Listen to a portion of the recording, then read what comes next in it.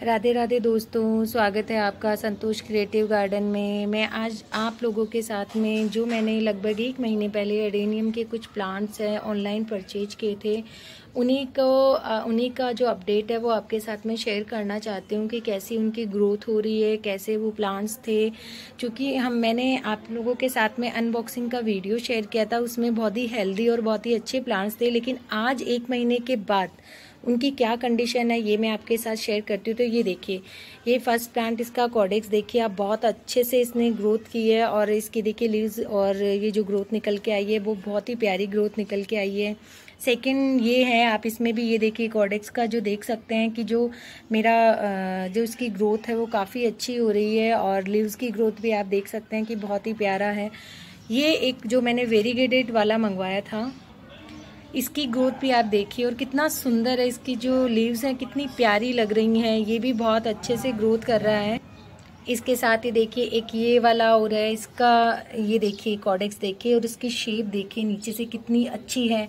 और एक ये जो मेरा लास्ट है, पाँच महीने मंगवाए थे तो इसमें फ्लावरिंग स्टार्ट हो चुकी है और आप देख सकते हैं कि काफ़ी अच्छे से इसके अंदर फ्लावर्स आ रहे हैं। हालाँकि अभी खिले नहीं है, ये कलियाँ बन रही हैं।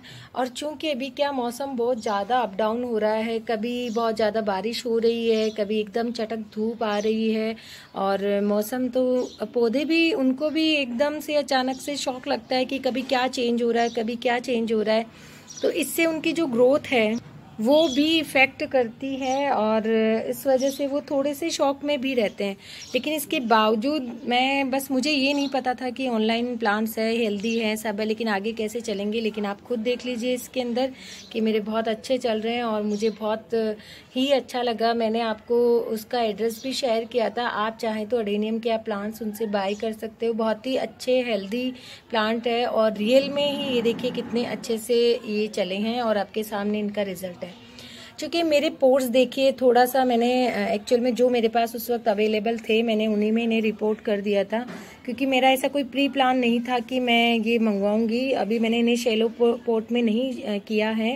हालाँकि एडेनियम को आप जितने शेलो पोर्ट में अगर आप करते हैं तो वो उसकी ग्रोथ के लिए और बहुत ही अच्छे होते हैं। तो नेक्स्ट जब मैं इन्हें रिपोर्ट करूँगी तो आपके साथ फिर से शेयर करूँगी।